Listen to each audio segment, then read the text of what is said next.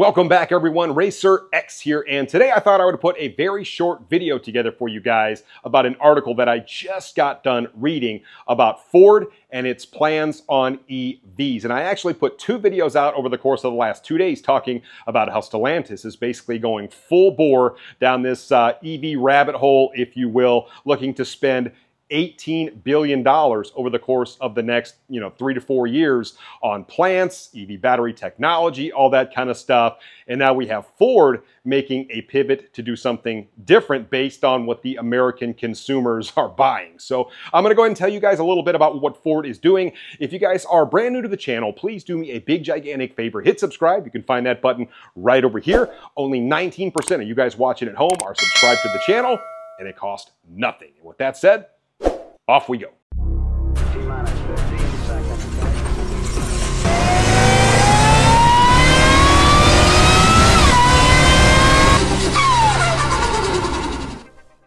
Guys, check it out. I am back with my buddies at Dream Giveaway in the Dream Giveaway garage. As you can see right behind me, they have a really cool uh, Shelby giveaway that I want to show you. They've got a really nice 2023 Shelby Super Snake F-150 and a Centennial Edition 2023 supercharged Mustang. Let's take a close look.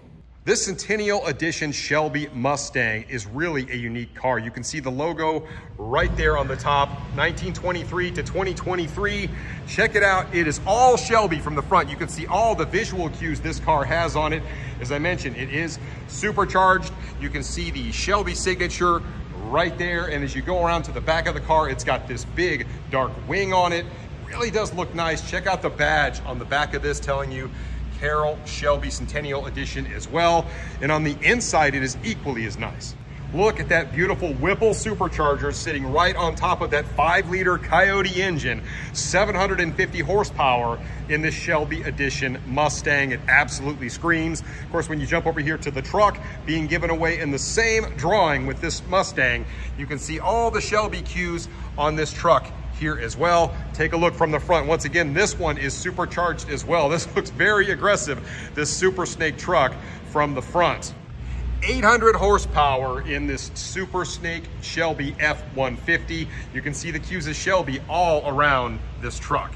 Things get even better on the inside of this truck. You can see it's got the Shelby floor mats signed right there, which is really cool. You can see all the Shelby cues inside here as well. Once again, you get the logos on the back of the seats, upgraded interior, everything on this truck is upgraded, 800 horsepower. What an amazing machine.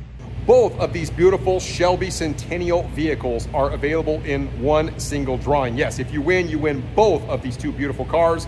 Uh, right now, if you use my code RACERX, you will get not two, but three times the entries for one price. So definitely go out to Dream Giveaways website. You can see some of the other giveaways they have there as well.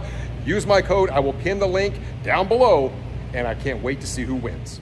Now I will go ahead and put the link to the article that I'm referencing in the video description so you guys can go check all this out for yourself. But I basically wrote down all the high points right here. Now, when you talk about Ford, they have been one of the American companies, at least, that has been kind of out in front of this entire EV wave, if you will, or what they thought was going to be an EV wave. I mean, they have spent billions and billions of dollars developing their E-line, or what they call their E-line, which is their electrics, uh, their plug-in hybrids, stuff like that. I mean, you can check it all right out on their website, all of the different vehicles that they have. Some are commercial. I mean, they got their Mach-E, which we know is not doing well at all. And the American consumers, as I've mentioned in the last couple of videos, they've kind of spoken with their wallets and EV sales are sluggish at best and it only seems to be getting worse. Those sales are just kind of tanking. I mean, you can go on good car, bad car. You can look at EV sales. You can look by make and model. I mean, there's a lot of different ways you can look this stuff up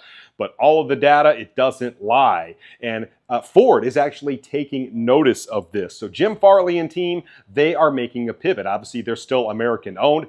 They can react to what the American consumer wants. And I feel like they do a pretty good job of that. So what they're saying is they're looking to reevaluate their EV strategy. They're going to completely cancel a fully electric SUV that was coming into the lineup here very soon. They're just going to cancel it due to the slow demand. They're also postponing their next generation E pickup truck. I have a feeling they're kind of waiting to see what happens with the new administration to see if that opens up the playbook for them, a lot like what I feel like Stellantis may be doing with some of their stall tactics on building their new, uh, it's like $3 billion plant.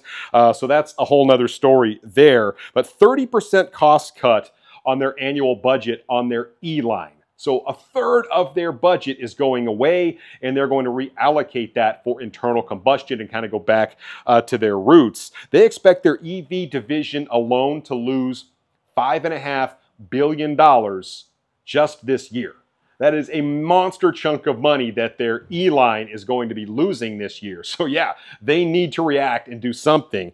And they also have a Canadian plant that initially was set aside for EV production.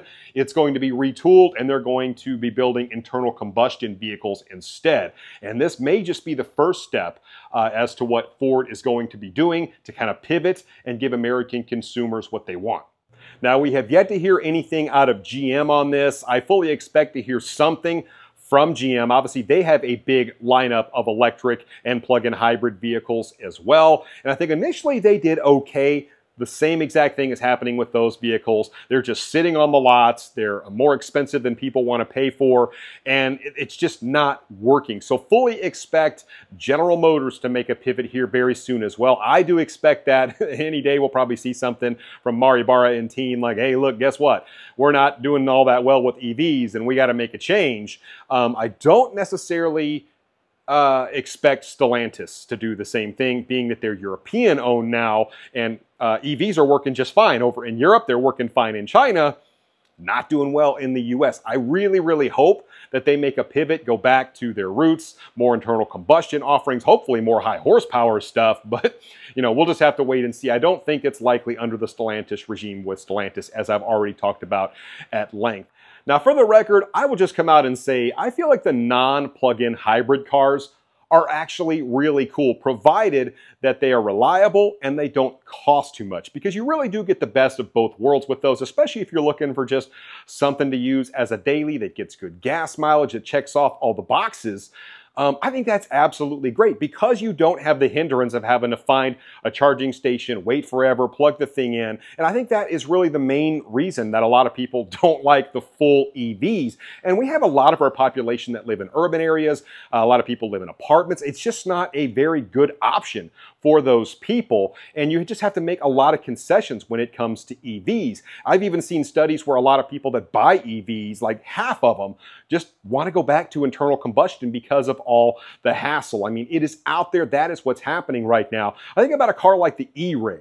Um, obviously, in my mind, you get the best of both worlds. You have two electric motors driving the front uh, tires, and then in the back, you still get that fire-breathing V8, making that thing unbelievably fast on the street and a ton of fun to drive. Like I said, the best of both worlds. But if you go to a plug-in hybrid where you have to start plugging the thing in, that is when people start to go, you know what, it's really not worth it. At least a lot of people really do feel that way. And so I'm really glad that Ford um, is being a little bit aggressive, trying to react and, and get out there in front of all this so they can maintain profitability. And like I said, I really hope the other ones, uh, they kind of follow right along that same path. Let me know what you guys think. I said, I just want to put this out there. If I hear more from any of these companies about them making a pivot, I will certainly let you know. But I am glad to see that Ford is at least going back towards their roots with to some degree, right? I mean, they've got to sustain that profitability. Five and a half billion dollars is a lot of money to lose in a single year on your EV stuff. I expect those numbers to be even worse for GM.